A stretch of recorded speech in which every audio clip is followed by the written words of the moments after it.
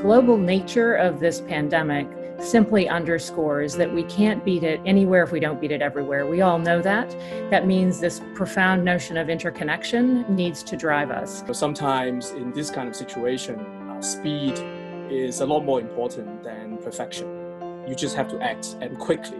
What are you doing with the money that was allocated for, for, for work that you're not going to be able to do anyway? Take your marketing budget, your flying budget, all these other things that you know were allocated for that you're not going to spend on. Don't wait to be asked. Take a step and take the initiative to go in and find where help is needed. How do I work with our current grantees and relaxing some of the requirements on the previously granted money uh, to start with so that they have some room to also deal with uh, the current crisis? We're now in it. And as a foundation, we're trying to figure out how do you both run the sprint and a marathon at the same time. How do we finally crack the code on the politics of preparedness?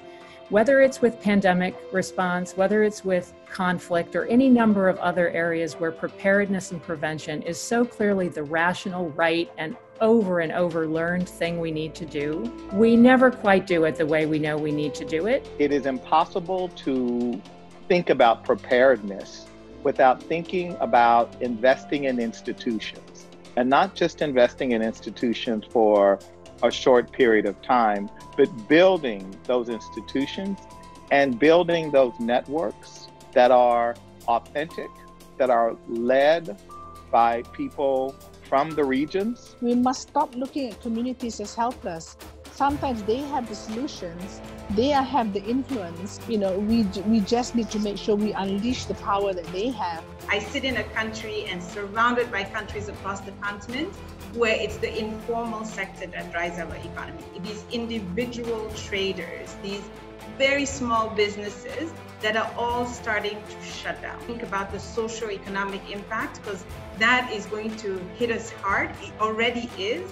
And I think that's a wicked problem because you need that deep level of decentralization to fight it, and somehow you need global coordination at the same time. No matter where we are in our politics, have just are living through a global crisis that comes from our interconnectedness and our helping to prevent this crisis in China, for example, actually protects all of us. Restart that engine and, and hold people to a higher standard of expectation for cooperation to tackle the world's toughest problem. There is no room for us to have a siloed approach.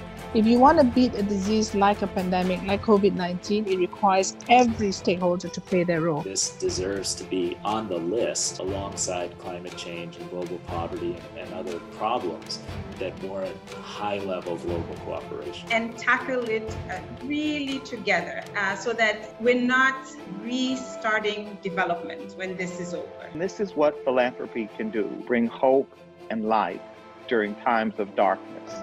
My desire, my hope is that we will use our privilege, our power, and our influence to demand a more just, fair, and equitable world. That's my hope. I'm going to ask you quite a personal question, which is a bit unfair because there's 400 people listening in.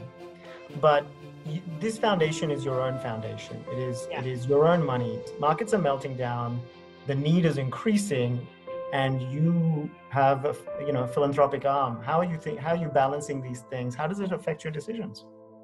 To be honest with you I, I say to myself how many beds can you sleep in and how many cars can you drive? You can only sleep in one bed drive one car. Right now we are all stuck in one room or one house.